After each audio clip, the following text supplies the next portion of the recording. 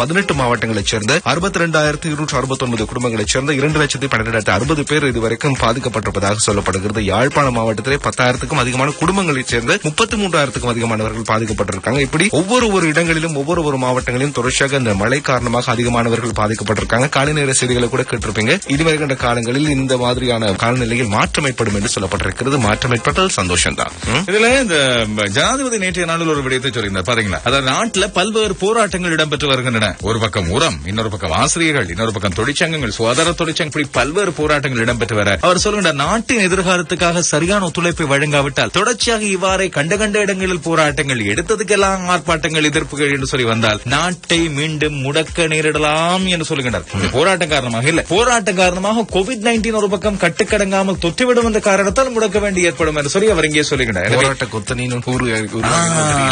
பொதுமக்களும் அதுபோல எதிர்க்கட்சிகளும் நாட்டின் பொருளாதாரத்துக்கு ஏற்படும் பாதிப்புகள் தொடர்பில் சரியான முறையில் புரிந்து கொள்ள வேண்டும் என்று சொல்கின்றார்.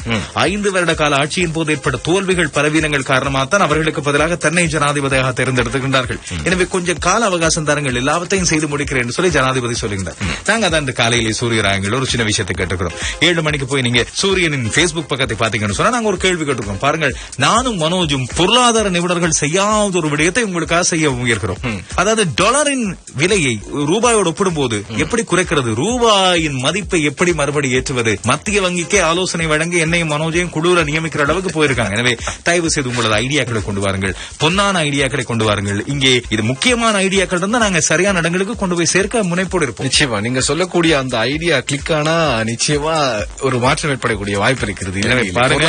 இந்த அரசாங்க பொறுப்பு முயற்சிகள் தொடர்பான நாடாளுமன்ற தெரிவு குழு இன்றைய தினம் இலங்கை முதலீட்டு சபை அழைத்திருக்கிறது வர சொல்லி கோப் புதிய ஏற்றுமதி செயலாக்க வணிகத்தினை நிறுவுவதற்கான மதிப்பீடுகள் தொடர்பாகத்தான் இதன் போது ஆராயப்பட இருக்கிறது. அந்த ஆராய்ச்சியோட நம்ம பொயின்ஸையும் கொஞ்சம் போட்டு வைக்கலாமே. உழைக்கும் பணம் போதவில்லை விலைகள் எல்லாம் ஏறி இருக்கின்றன என்று சொல்லி கவலைப்படுகின்ற பல பேரை நாங்கள் இங்கே பார்க்கிறோம். விலைவாசிகள் ராக்கெட் வேகத்தில் ஏறிக்கொண்டு போகுது பார்த்தா இலங்கையில நாடை பகுதி பகுதியா பிரிச்சு விக்கிறாங்க துறைமுகத்தை வித்துட்டாங்க விமான நிலையத்தை விற்க போறாங்க அங்க சொத்தை விக்கிறாங்க இங்க நிலத்தை விக்கிறாங்க புதுசா உருவாக்கி நிலத்தை எல்லாம் விக்கிறாங்களே தவிர வாங்குறாங்கல்ல. இப்படி இருக்கு நேரம் இந்த மின்சார தொழிற்சங்கங்கள் போராட்டம் இதெல்லாம் நடக்கிறது. திடீர்னு மின்சாரம் இல்லாம போகுது என்று சொல்லியிருந்து அந்த பிரச்சனை தீர்த்துட்டாங்க. ஆசிரியர்களுக்கும் ஏதோ ஒரு தீர்வு கொடுத்த மாதிரி இருக்கு. இந்த உர பிரச்சனை ஒரு பக்கம் போய் கொண்டிருக்கு திடீர்னு நேற்று கஞ்சிபாய் கால் பண்ண கால் பண்ணி நிறைய வித்து கொண்டு இருந்தாங்க தானே. ஆனா இது சரியில்லை லோசன் என்ன. இந்த பார்க்க போனா காலையில பாக்குற இந்த விஷயங்கள் இந்த வெயில் எல்லாம் இல்லாம போகுது மழையெல்லாம் இல்லாம போகுது. ஒரு பக்கம் பார்த்தா ஆகாயத்தையும் வித்துட்டாங்களும் உண்டு. மழை இருட்டா இருந்ததானே? ஆகாயத்தை வித்துட்டாங்களே கடவுளே. இரவுல தான் இப்ப மின்சாரம் எங்கேயாவது துண்டிக்கப்படுதுன்னு சொல்லி பார்த்தா பகல்ல இருட்டா கிடக்கு. ஆகாயத்தையும் வித்துட்டாங்களோ நான் சொல்லல அதை விற்க முடிஞ்சா அதையும் வித்துருவாங்க சொல்ல முடியும் அதனால அது ஒரு படத்துல கவுண்ட் பண்ணி சொல்லுவார் இல்லையா? யார் இந்த லைட்டை போட்டு வச்சது இரவு நேரத்துல வருவாங்க. பௌர்ணமிப்பா திலா போட்டு வெளிச்சமா இருந்தா. கரண்டே இருக்காது. உண்மைதான். ஆனா இதே மாதிரிதான் பாடசாலை காலத்துல ஒரு தடவை கஞ்சி வாயிடம் ஒரு கேள்வி கேட்டிருந்தேன். என்ன சூரியனா சந்திரனா? நான் கேட்கல. ஆசிரியர் கேட்டுருங்க சூரியனா சந்திரனா? இது மிகச் சிறந்தது. நீங்க சூரியன். என்ன? சூரியன் தான் இயற்கை. சந்திரன் அதுல இருந்து வெளிச்சம் நிறைய அதுல இருந்து பவர் எல்லாம் கிடைக்குது இந்த சூரியனுக்கா சொல்லல பொதுவா சொல்ல இயற்கை முதல் சூரியன் தானே. உலகத்துக்கே சக்தி வழங்குறது. இப்படி இருக்கும்போது தான் அப்ப அவர் சொன்னா இல்ல இல்ல சந்திரனா ஆசிரியர் ஆச்சரியப்பட்டு கேட்டேன் கஞ்சிவா சொன்னா ஏதாவது ஒரு காரணம் இருக்கு என்ன காரணம் கேட்டேன் இல்ல பாருங்க பகல்ல வெளிச்சம் இருக்க நேரத்துல சூரியன் வந்து பிரயோசனம் தானே. இரவுல வெளிச்சம் இருட்டா இருக்கு நேரம் சந்திரன் வரது எவ்வளவு பிரயோசனம் பாருங்க. அதுதானே. அப்ப நாங்கன்னா வேற கிரகத்துக்கு தான் போகணும். இங்க இருந்தாங்க ஷிஃப்ட் பண்ணிட்டோம்னா உலகத்தை எந்த பிரச்சனையும் இருக்காது.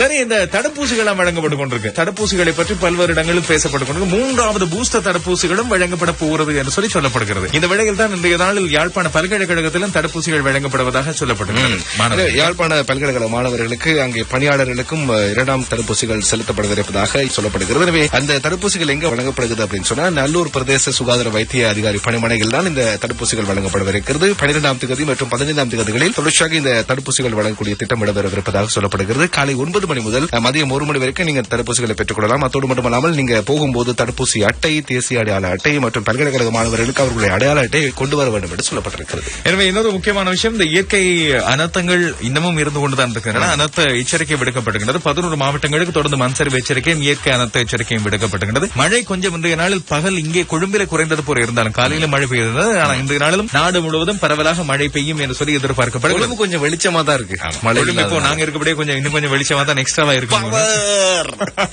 நேற்று நாளை பொறுத்த வரைக்கும் இந்த கொரோனா காரணமாக பதினாறு மரணங்கள் பதிவாகி இருக்கிறது. மொத்த மரணங்களுடைய எண்ணிக்கை இப்பொழுது பதிமூன்றாயிரத்து தொள்ளாயிரத்து எட்டாக உயர்ந்திருக்கிறது. நேற்றும் அறுநூற்று எழுபத்தி மூன்று பேர் புதிதாக தொற்றுக்குள்ளாக இருக்கின்றார்கள். மொத்த தொற்றாளர்களுடைய எண்ணிக்கை ஐந்து லட்சத்து நாற்பத்தி ஏழாயிரத்து முன்னூற்று நாற்பத்தி ஆறாக உயர்ந்திருக்கிறது. நேற்று முன்னூற்று முப்பத்தி மூன்று பேர் குணமடைந்திருக்கிறார்கள் இதுவரைக்கும் இலங்கையிலே ஐந்து லட்சத்து இருபத்தி ரெண்டாயிரத்துக்கும் அதிகமானவர்கள் குணமடைந்திருக்கிறார்கள்.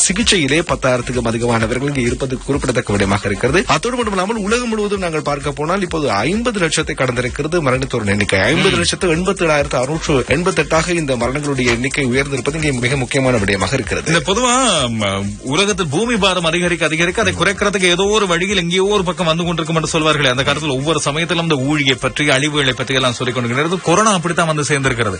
இதுல இந்த கடந்த இருபத்தி நான்கு மணி காலத்தில் மட்டும் உலகளாவிய இறுதியில் ஏழாயிரத்து ஐநூற்று பதினாறு பேர் இறந்து போனார்கள். எனவே இந்த காலப்பகுதியில் அதிகமான மரணங்கள் பதிவானது. நாங்களாம் இப்ப ஒவ்வொரு நாளும் அதிகமான மரணங்களை பற்றி எல்லாம் பேசுவது கிடையாது. இந்த காலப்பகுதியில் அதிகமான மரணங்கள் ரஷ்யாவிலே பதிவாகி இருக்கின்றன என்பது இங்கே முக்கியமானதாக இருக்கிறது.